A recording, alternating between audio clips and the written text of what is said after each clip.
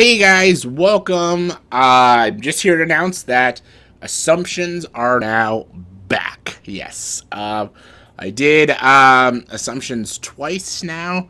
Uh, me and Lindsay have done them. Um, I think, no, actually, I think only Lindsay did it the second time with me. So, um, I'm bringing back assumptions again.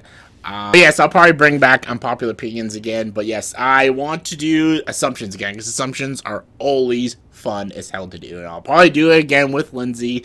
She loves doing those. So, in the comments below in this video, you've got you guys know this already. I want you to uh, assume things about me. You can do Lindsay as well, especially Lindsay because Lindsay loves it too. So make assumptions about me, about Lindsay, about whatever.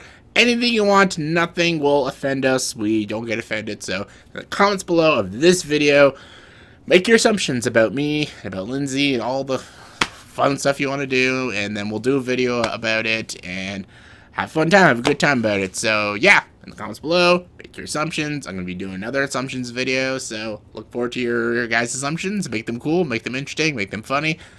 And I'll see you guys in the next video. Dark side.